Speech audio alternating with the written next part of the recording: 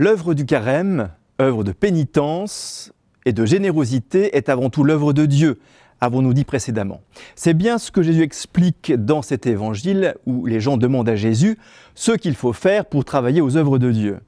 Et la réponse de Jésus met en avant l'œuvre de Dieu, non pas la nôtre. Alors qu'on s'inquiète de travailler aux œuvres de Dieu, le Christ explique, l'air de rien, qu'il n'y a qu'une seule œuvre, c'est l'œuvre que Dieu lui-même opère en nous. C'est Dieu en personne qui s'en charge. Il s'agit de laisser Dieu faire en nous son œuvre à lui. Et donc le retournement est complet, des œuvres pour Dieu à l'œuvre de Dieu.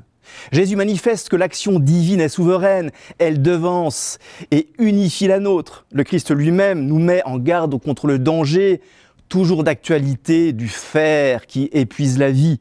Et son expérience même devrait nous garantir de ne jamais faire quoi que ce soit en dehors de Jésus. Par un effort, justement, de carême, de recentrement sur Dieu, qui seul donne la croissance. C'est la leçon du petit Placide. Le vrai apostolat, ce n'est pas de parler, c'est d'être. Il y a en ce moment une mode d'apostolat parle de bougeotte. Notre apostolat à nous, c'est sainteté à l'école de l'Évangile. Faire son petit possible pour se sanctifier, laisser le reste à Dieu. Au diable donc nos bonnes résolutions et le volontarisme.